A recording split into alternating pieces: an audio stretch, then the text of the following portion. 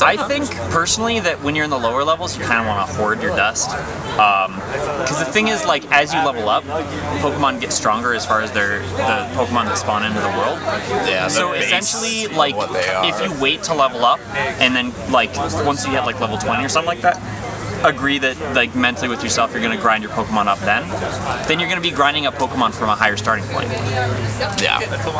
Get like a couple that you can like fight in gyms and get XP Yeah. that way up, but like not a ton. Yeah, just be like, okay, these two or three Pokemon are gonna be my gym killers, and then from there I'm gonna I'm gonna pile up dust. Like right now I have uh, 69,336 dust piled up. I got more.